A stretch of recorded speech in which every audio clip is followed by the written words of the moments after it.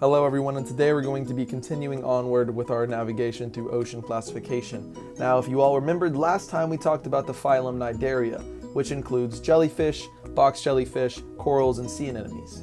We're now going to talk about the smallest class within the phylum, which is Cubozoa. The class Cubozoa includes box jellyfish and there are around 20 species of box jellyfish within this class.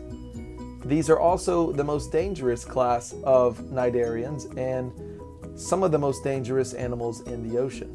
They provide some really deadly stings, some species such as Chironex fleckeri providing stings that can kill human beings within minutes. What makes a box jellyfish a box jellyfish is their cuboidal dome, also known as the bell, which looks very box shaped, hence the name box jellyfish. Each of the four corners of the bell has either one tentacle or a cluster of them. This is different from normal jellies because normal jellies have tentacles around the entire circumference of the bell, whereas these guys only have tentacles at the corners, not all the way around the bell.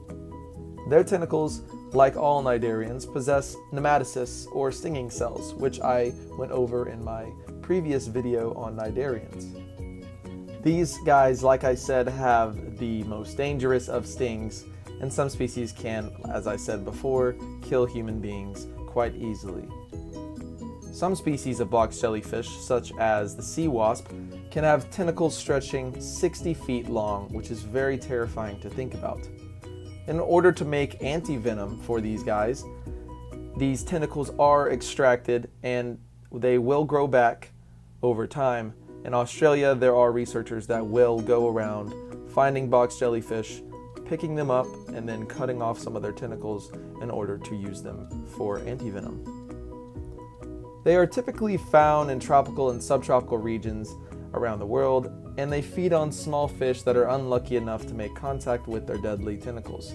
Interestingly enough, these cnidarians have well developed eyes with lenses, meaning that these guys can see, which is kind of weird to think about.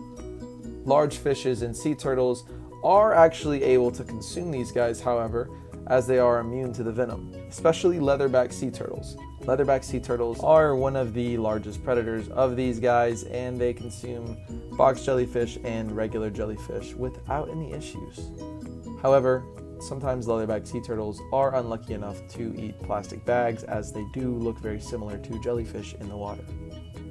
Another interesting fact about cubozoans is that they are actually pretty good swimmers in comparison to other jellyfish. These guys are able to swim fairly quickly, surprisingly, and they do so by pulsating their bell. I hope you all enjoyed learning about box jellyfish and make sure to smash that like button if you enjoyed. Make sure to send this video and videos from my channel to all your friends and family so they can learn more about the beautiful wonders in the ocean. I hope you all have a wonderful day, and I will see you guys next time.